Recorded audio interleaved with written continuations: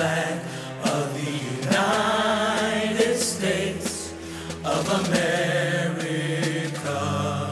and to the republic for which it stands one nation.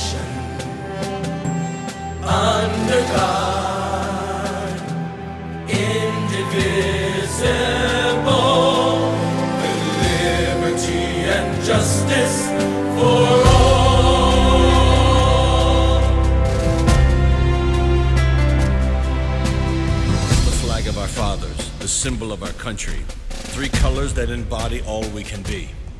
It represents the heights of achievement its citizens could rise to, and the sacrifice of life that made us free. Free to learn, free to speak, free to worship God, free to dream a dream and see it through.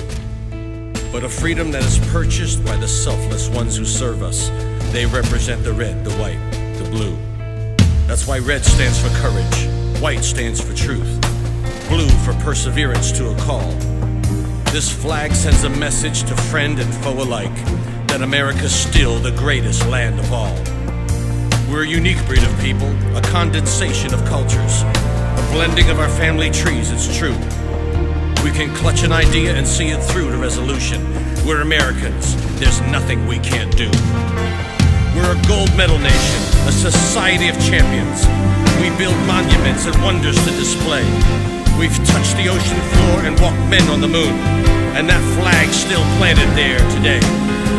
So let our banner wave and promise a better life, and people from all nations can proclaim. When the symbol of our hope is raised, the stars and stripes forever, we the people will stand